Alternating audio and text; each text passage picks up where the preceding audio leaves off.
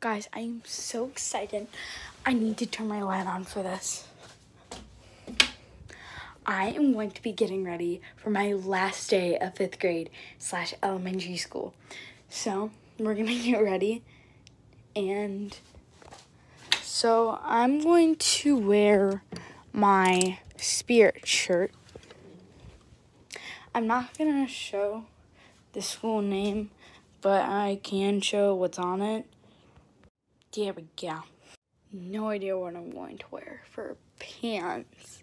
Because it's supposed to be in the 80s tomorrow. Um, perfect. These will do. These are from Hollister. Literally one of my favorite pairs of shorts. And then I'm gonna wear some socks with some tennis shoes that I will show you in a sec. With these, because these are literally one of my pair favorite pairs of shoes. Like for part two for me.